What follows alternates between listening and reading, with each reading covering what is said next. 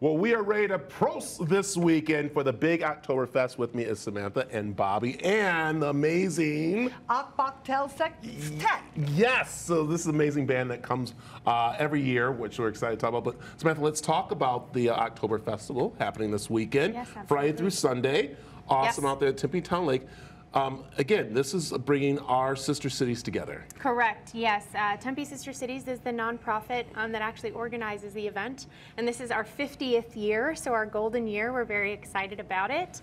Um, but the nonprofit uh, out of Tempe actually, uh, their mission focuses on exchange programs for students, teachers, and professionals. So we pair with 11 sister cities um, across the world. Yeah, and during this time, we uh, of course are excited because we are going to have beer, we're going to have food, Yes. all kinds of stuff out there. Uh, thanks to Four Peaks Brewing Company. Yes, yes, absolutely. Um, we love our partnership with Four Peaks. We've been with them for quite some time now. Um, so you'll see here the beers are some of the featured beers, Golden Lager, things like that. You'll see over here our uh, our brat plate here, and uh, Bobby likes to tell us too. Make sure you get that sauerkraut on there. We've got our our special sauce in there, uh, so secret ingredients. So uh, lots of great food um, and beer, and uh, a lot of great events. Yes, happening. One event is going to be the sauce, the uh, bratwurst eating contest. Yes. So that I understand our very own Stu, our celebrity food guy, will be in it. Yes. So that's at 2:45. But a lot of events going on. Saturday morning we have the big run. Yes, And Running that's for the, Brats. yes,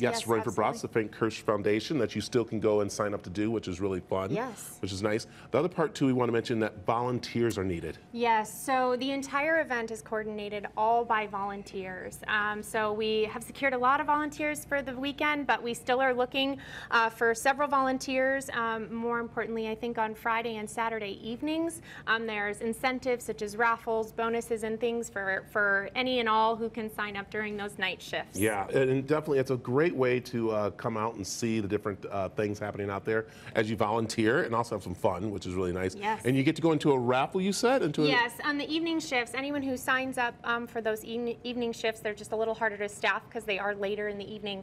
Um, we are entering all of those volunteers into a raffle for some very exciting prizes that we've put together this year. I love it. There you go. You got to do it.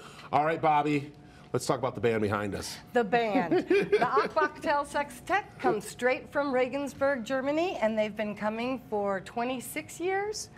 And they play all around the park. You can't miss them.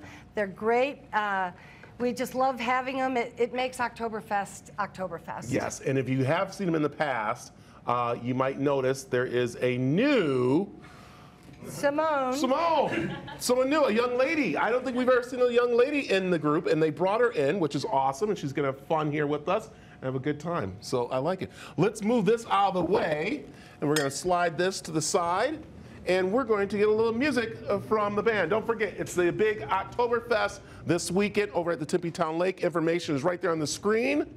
So, strike it up. Ja, det was jag inte im Hoben. Ja,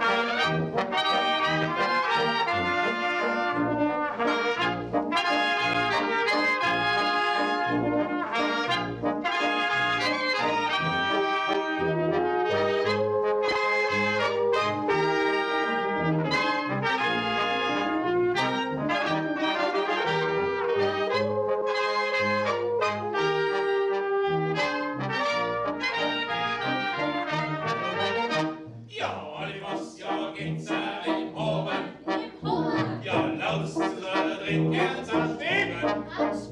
Ja, Alfons, ja, Ginzer.